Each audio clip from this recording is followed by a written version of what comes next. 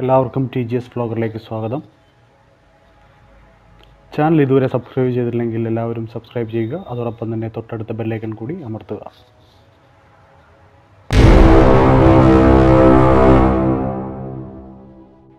Safdar Jung top അഥവാ സഫ്തർ ജംഗിന്റെ ശവകുടീരം. ഇന്ത്യയിൽ ദില്ലിയിലെ ഒരു മണൽക്കല്ലും മാർബിൾ ശവകുടീരവുമാണ് സഫ്തർ ജംഗിന്റെ ശവകുടീരം. ആയിരത്തി എഴുന്നൂറ്റി അൻപത്തിനാലിൽ മുഗൾ സാമ്രാജ്യ ശൈലിയിൽ നവാബ് സഫ്തർ സഫ്തർജംഗിനായി ഇത് നിർമ്മിച്ചു.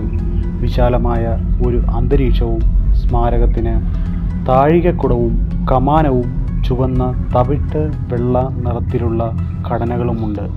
ആയിരത്തി എഴുന്നൂറ്റി നാൽപ്പത്തി എട്ടിൽ അഹമ്മദ് ഷാ ബഹദൂർ സിംഹാസനം കര കരസ്ഥമാക്കിയപ്പോൾ ഉദ്ദയിലെ നവാബായ സഫ്തർ ജംഗിനെ മുഗൾ സാമ്രാജ്യത്തിന്റെ പ്രധാനമന്ത്രിയാക്കി.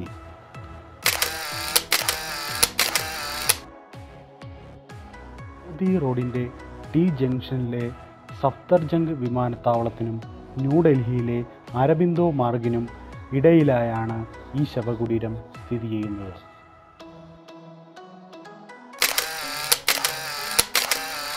ആയിരത്തി എഴുന്നൂറ്റി അൻപത്തിനാലിൽ മുഗൾ സാമ്രാജ്യ ശൈലിയിലുള്ള സഫ്തർജംഗിലാണ് ഈ കെട്ടിടം നിർമ്മിച്ചത്. അവധിനെ ഭരിച്ച സഫ്തർജംഗ് എന്നറിയപ്പെടുന്ന മിർസ മുഖീം അബ്ദുൾ മസ്തൂർ ഖാൻ മുഹമ്മദ് ഷായുടെ വൈസ്രോയിയായി അവധിയിലെ ഒരു സ്വതന്ത്ര ഭരണാധികാരിയായിരുന്നു. അദ്ദേഹം വളരെ ധനികനും ശക്തനുമായിരുന്നു. മുഗൾ സാമ്രാജ്യത്തിലെ മുഹമ്മദ് ഷാ ചക്രവർത്തിയുടെ മരണത്തോടെ അദ്ദേഹം ദില്ലിയിലേക്ക് മാറി. അവരുടെ ഭരണം ഉത്തരേന്ത്യയിലേക്ക് മാത്രമായി വ്യാപിച്ചതിനാൽ അത് തകർച്ചയിലായിരുന്നു. രാജാവ് ഒരു പാവ വ്യക്തിത്വം വീഞ്ഞ് ഓപ്പിയം സ്ത്രീകൾ എന്നിവരോടൊപ്പം ജീവിതം ആസ്വദിക്കുന്ന ഒരാളായിരുന്നതിനാൽ വസീറിൻ എന്ന നിലയിൽ അദ്ദേഹം എല്ലാ അധികാരങ്ങളും തന്റെ നിയന്ത്രണത്തിലാക്കി.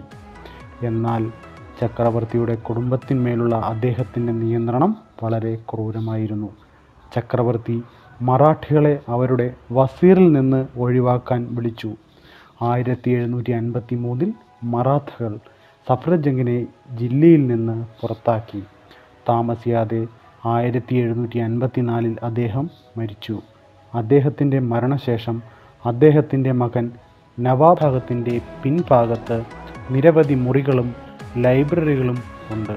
ഗേറ്റിന്റെ വലതുഭാഗത്ത് മൂന്ന് താഴികക്കുടങ്ങളുള്ള ഒരു പള്ളി വരകളാൽ അടയാളപ്പെടുത്തിയിരിക്കുന്നു.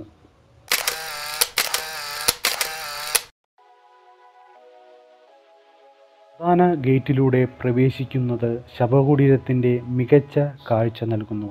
ഇതിന്റെ മതിലുകൾ ഉയരത്തിലും സഫ്ര സഫ്രത് ജംഗിന്റെ പ്രധാന ശവകുടീരമായ മധ്യ താഴികക്കുടം ഒരു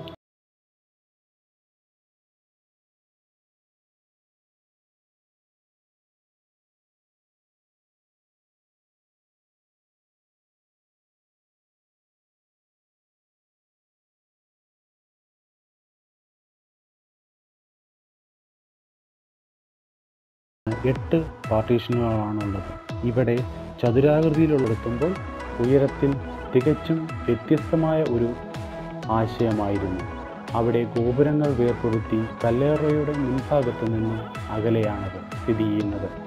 ശവകുടീരത്തിന്റെ വാസ്തുവിദ്യയെ പ്രശംസിക്കുകയും പരിഹസിക്കുകയും ചെയ്യുന്നവരുണ്ട്.